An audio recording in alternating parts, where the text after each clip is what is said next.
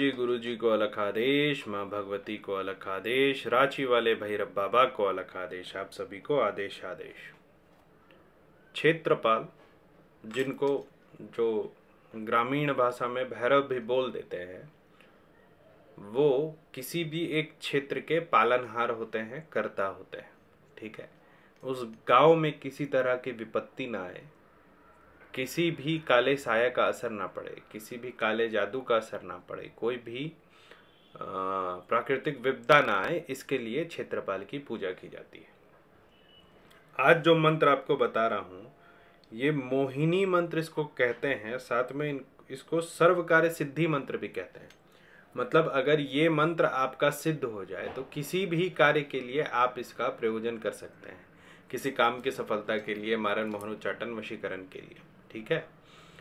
बहुत ही सिंपल साधना है। इकतालीस दिनों तक चलता है। बस इसमें एक ही है कि इसका मंत्र लंबा है और एक सांस में एक बार इसके मंत्र का जाप करना होता है। इसके लिए आपको चाहिए क्या क्या बाटी बनती है पाँच अनाज की। बाटी मतलब थोड़ा सा मोटा सा रोटी होना चाहिए, बाटी की तरह।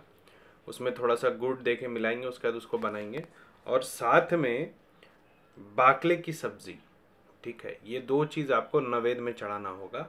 धूप, दीप, पुष्प, ये तो अलग से लगता ही है और दीप पे ही पुष्प समर्पित करेंगे और धूप दिखाएँगे, ठीक है?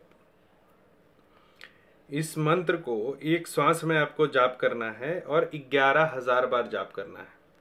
ऐसा जब आप इकतालीस दिन कर लेंगे तो ये मंत्र आपका सिद्ध हो जाएगा। उसके बाद किसी भी कार्य के लिए सिर्फ़ संकल्प करके प्रार्थना करना होगा और आपका कार्य हो जाएगा। मंत्र थोड़ा लंबा है इसलिए आराम से सुना रहा हूँ, पूरा सुनिएगा। ओम छाम, छिम, छौम, क्षेत्रपालाय, सर्वदोषान, चूर्य चूर्य, सर्वदेवान, साध्य साध्य, राजा मोही, प्रजा मोहि ग्राम जन मोही, बाप क्षेत्रपाल भारी आन फिरे, ओम ह्रीम ठह ठह स्वाहा। ठीक है? संस्कृत में साबर मंत्र बहुत कम मिलते हैं, ठीक है? जिसमें दुहाई और आन हो, वैसे ही ये क्षेत्रपाल का मंत्र है और ये मंत्र बहुत कारगर है। इसको मैंने प्रयोग किया है, इसीलिए मैं आपके साथ साझा कर रहा हूँ। और बहुत सिंपल विधान है इस मंत्र को एक सांस में ग्यारह हज़ार बार इकतालीस दिन तक पढ़ना है। बाटी और बाकले की सब्ज़ी के साथ, ठीक है? नवेद में देंगे, धूप दीप जो जलाते हैं, जो पुष्प चढ़ाते हैं, वो चढ़ाएँगे हाँ? और बस इस मंत्र का जाप करना है कि रुद्राक्ष की माला लेके दक्षिण दिशा की ओर, ठीक है?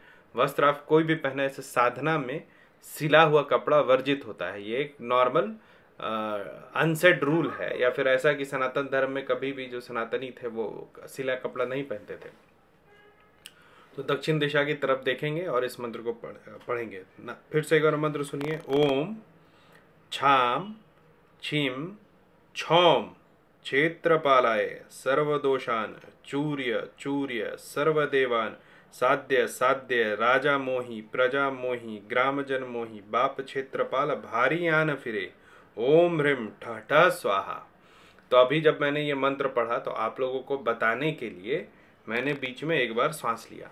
लेकिन जब आप इसका जाप करेंगे तो इसको किस तरीके से करेंगे? ऐसे करेंगे। ओम छाम छीम चौम क्षेत्रपालाय सर्वदोषान चूर्य चूर्य सर्वदेवान साध्य साध्य राजा मोही प्रजा मोही ग्राम जन मोही बाप क्षेत्रपाल भारी आन फिरे ओम रीम ठह ठह स्वाहा। तो ये एक बार मैंने सांस भरा और उसमें ये पूरे मंत्र का मैंने जाप कर लिया, ठीक है? तो इस तरीके से ग्यारह हज़ार जाप आप लोग करेंगे। रात में ग्यारह बजे के बाद इसकी साधना शुरू होगी। एक बार जब साधना समाप्त करेंगे तो जो प्रसाद है वो किसी स्वान को खिला देंगे, किसी कुत्ते को खिला देंगे, इसको आपको ग्रहण नहीं करना है। ऐसा जब आप इकतालीस रात तक करते हैं तो ये मंत्र सिद्ध होता है। उसके बाद सिर्फ़ इनके नाम का एक दीपक जलाना है। मंत्र उच्चारण करेंगे ग्यारह बार। हाथ में जल लेंगे, जो भी कार्य है, उसको संकल्प करके जल को गिरा देंगे। फिर जब कार्य समाप्त हो जाएगा तो फिर से जो भोग है, वो एक बार देवता को चढ़ा देंगे। इतना करने से एक ऐसा तंत्र आपके हाथ में रहेगा, जिसका आप प्रयोग कभी भी और कहीं भी कर सकते हैं। आज के लिए इतना ही। जिनको पेड व्हाट्सएप ग्रुप से जुड़ना है, वो मेरे WhatsApp group nine four three one one eight eight five eight five से जुड़ सकते हैं। उसमें हम साधना का जो शुरुआती मंत्र विधान है, वो बताते हैं।